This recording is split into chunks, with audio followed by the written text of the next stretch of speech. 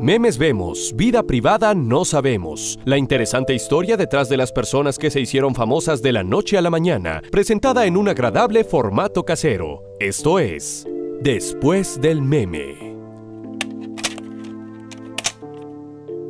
Por lo general dicen que aguantarse las ganas de algo es malo, que no hay nada más autodestructivo que retener un impulso o guardarse un sentimiento. Esa sensación de impotencia que nos invade cuando nos limitamos a nosotros mismos puede tener un efecto negativo a la larga, pero quizá haya que pensarlo dos veces, pues no se sabe si el día de mañana contenernos pueda tener un efecto positivo y llevarnos a la fama.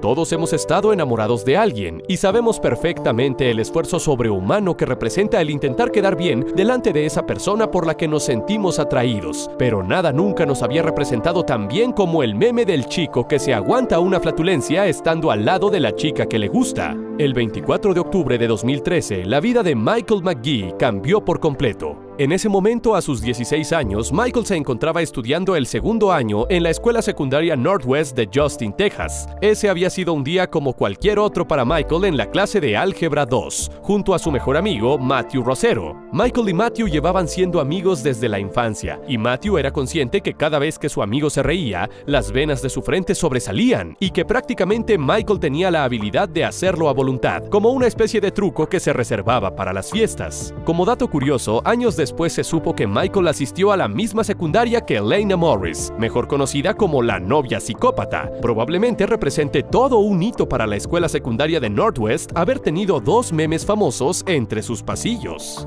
En ese momento, navegando por Twitter, Matthew se dio cuenta de que el hashtag BootyHadMeLike estaba teniendo mucha repercusión, por lo que era la oportunidad perfecta para aprovechar el talento de Michael y sumarse al tren con la finalidad de hacer un tweet gracioso. La traducción al español del hashtag sería algo como ese trasero me tiene así, básicamente una representación gráfica de cuando nos sentimos atraídos por la retaguardia femenina. Casualmente, Michael se encontraba sentado al lado de Amber, una chica de quien de hecho estaba enamorado. Matthew decidió tomar la foto con las venas sobresalidas de Michael y con Amber en el fondo, quien en ese momento se sintió muy incómoda con la situación.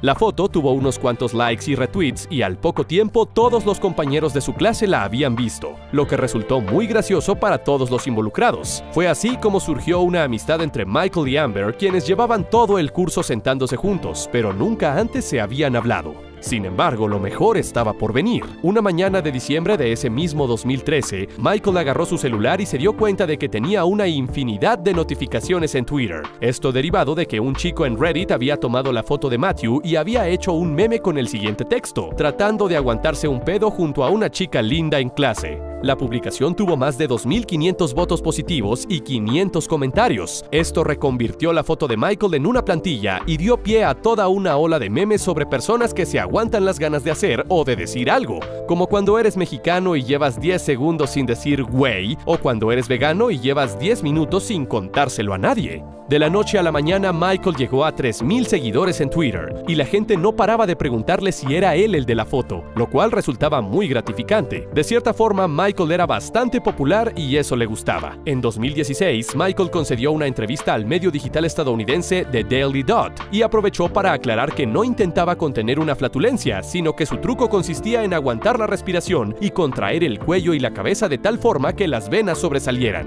Eventualmente, Michael descubrió que hacer este esfuerzo implicaba cortar el flujo de oxígeno hacia su cerebro, lo que básicamente mata las células del mismo, por lo que dejó de hacerlo tan a menudo.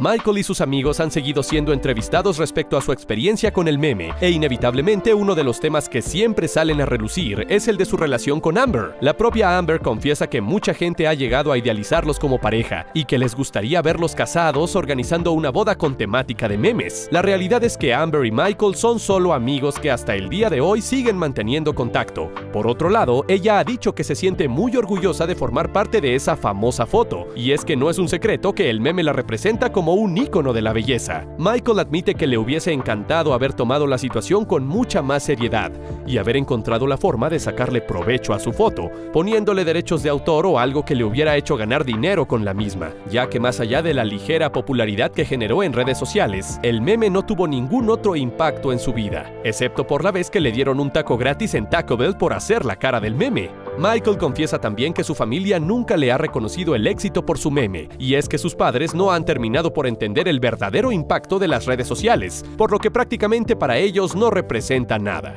En julio de 2019, Michael comenzó a trabajar en la aerolínea Envoy Air como controlador de tráfico aéreo, pero se desconoce si al día de hoy sigue trabajando ahí. A sus 23 años, Michael se denomina a sí mismo como un meme retirado, y dejando la modestia de lado, considera que su meme es uno de los mejores 5 de la historia. Es un gran fan de la NFL que ahora mismo mantiene un bajo perfil, alejado de todo el escándalo que la foto de él y sus venas sobresalidas alguna vez generaron. Sin embargo, mucha gente ha tratado de imitarlo, demostrando que no ha sido olvidado y que probablemente no hay quien lo pueda igualar. Espero que les haya gustado este video. Recuerden apoyar suscribiéndose, dejando su like y comentando de qué celebridad de internet les gustaría que habláramos después. Nos veremos en el próximo video después del meme. Adiós.